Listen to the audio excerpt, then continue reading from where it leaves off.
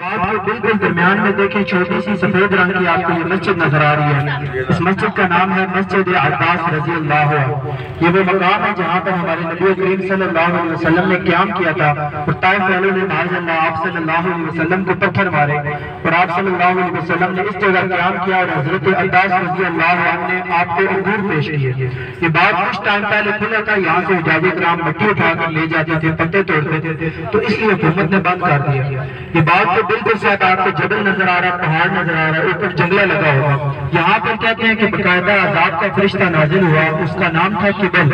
उसने कहा, आका करीम सल्लल्लाहु अलैहि वसल्लम, आप मुझे हुक्म करें, मैं दो पहाड़ों को मिलाकर ताइफ वालों को रोजा रोजा कर दूँ। लेकिन नबी अलैहिस्सलाम ने फिर भी इनके लिए बदुआ नहीं की, इन्हें दुआ दी। आप सब हजरात एक मरतबा बुलंद आवाज़ में दुरूद शरीफ पढ़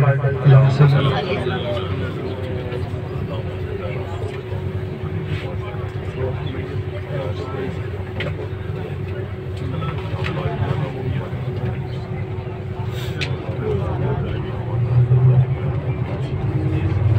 वो अंगूरों का बाग है जिसका नाम है बाग अब्बास इसका। वाक्य आप लोगों ने पहले भी वहाँ सुना होगा। इस बाग में आप सल्लल्लाहु अलैहि वसल्लम ने आकर कयाम किया था। ये वो अंगूरों का बाग है